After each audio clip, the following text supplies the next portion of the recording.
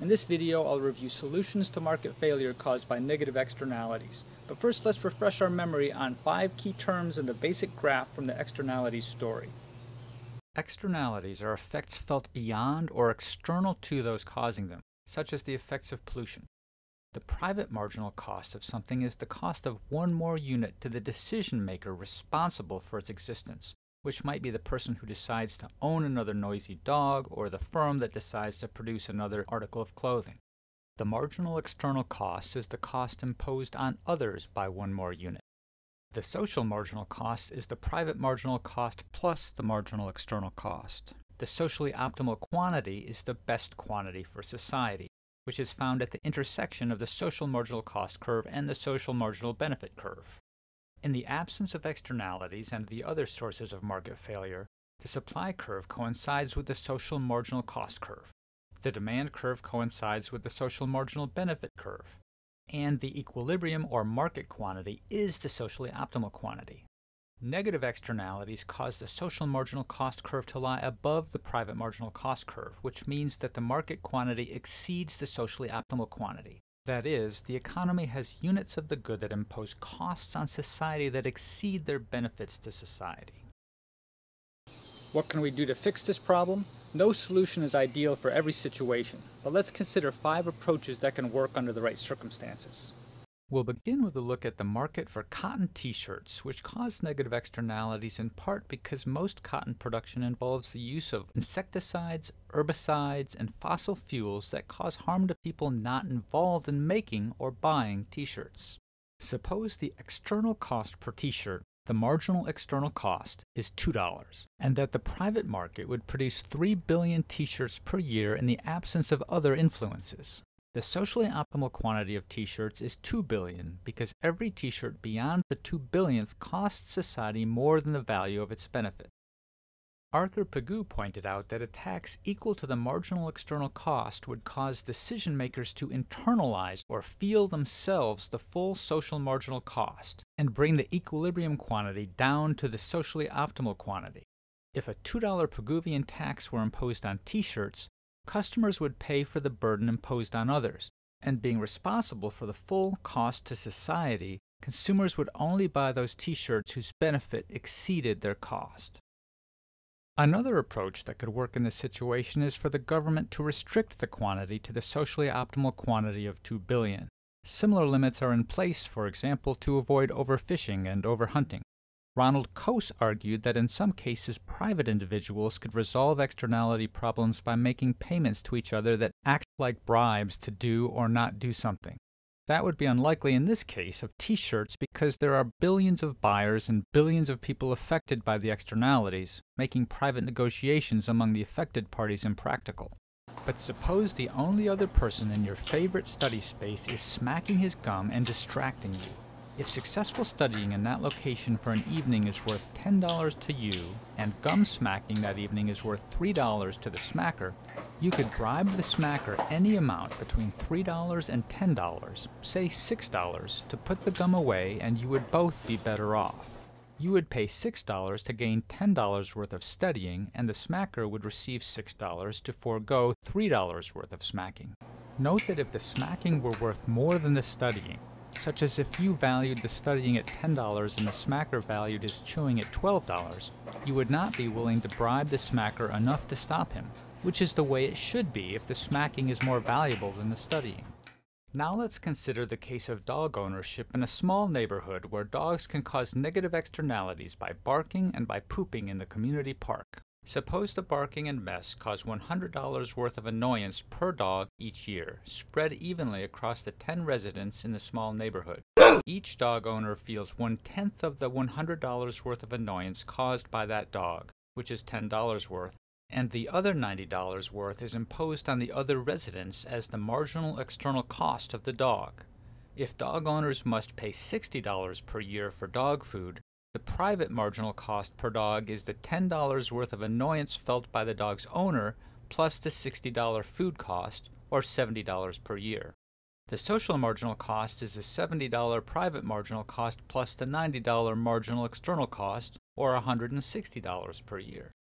Let's say each dog gives its owner $120 worth of happiness each year. To keep things simple, we'll assume that there are no positive externalities from dogs, which means that the private marginal benefit and the social marginal benefit are the same, $120. The residents would weigh the $70 private marginal cost against the $120 private and social marginal benefit, and every neighbor would buy a dog, even though the $160 social marginal cost exceeds the $120 benefit of a dog. Coasian bribes of up to $10 from each of the other residents could dissuade the purchase of dogs because a dog buyer would have to forego up to $90 in bribes on top of the other $70 in private marginal cost to get a dog, placing the private marginal cost above the $120 benefit. However, we've seen that Coasian solutions become less likely as the number of affected individuals grows because it is more difficult for a lot of people to get together to negotiate a deal. Here's another solution to this problem. The economic literature explains how in some cases a vote among the affected parties can lead to efficient decisions about the sources of externalities. The efficient voter rule states that when individuals who receive the same harm from a problem vote on whether to eliminate that problem at a uniform cost per individual, the outcome will be efficient regardless of each individual's contribution to the problem. Suppose the residents vote on whether to allow each household to own a dog. A yes vote would give the residents a neighborhood with 10 dogs, and each resident would receive $90 worth of externalities from the other neighbor's dogs. Each resident's dog would also impose $90 worth of externalities on the other residents. The voting mechanism thereby makes each resident internalize the $90 external cost their dog would impose on others in addition to their $70 private marginal cost. If they vote to allow dogs, the benefit is the $120 worth of joy from dog ownership. So they will only vote yes if the $120 benefit of a dog exceeds the full cost of a dog, which in this case it doesn't. The literature shows that the voting solution leads to efficient solutions even in the more realistic case of some dogs being more of a nuisance than others. As a last solution that we'll consider, Garrett Hardin pointed out that privatization can solve some externality problems. The idea is that private ownership causes decision makers to internalize the effects of their actions. Private owners of apartment buildings sometimes prohibit dogs because the owners internalize the costs of allowing dogs, in that, if dogs cause more of a nuisance than they're worth, the negative externalities lower the rents the owners can charge for living there. And have you noticed that many public restrooms are more messy than private restrooms? People are less likely to trash their own bathroom than public bathrooms because damage to a public bathroom is an external cost, whereas damage to a private bathroom is internalized by the owner. Unfortunately, it is difficult or impossible to privatize many of the things damaged by externalities, such as the oceans, rivers, air, and climate. For a quick review of these solutions to externalities, suppose you and three friends go out for some sodas and agree to split the check evenly among the four of you. If drinks cost $4 each, how much does it cost any particular person to order one more drink? It costs $1. Because the check is split evenly, a $4 purchase increases each person's bill by $4 divided by 4, or $1. The $3 not paid by the person whose drink it is constitutes an externality imposed on the other three friends. The problem here is that people will order more sodas until their benefit from another soda would fall below their private marginal cost of $1, even though the cost to the group is $4. For example, if another soda is worth $3 to someone, he'll order it even though the drink costs the group $4 because his share of the cost is only $1. Of course, that goes for all the friends, so too many sodas will be ordered by everyone. What would Arthur Pigou suggest as a solution to this externality problem? He would say, Let's impose a $3 tax on each drink.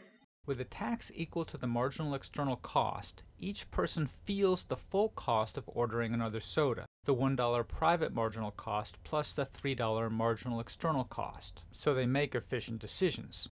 If Uncle Sam were there and knew that each friend's demand for sodas looked like this, what would he have the government do?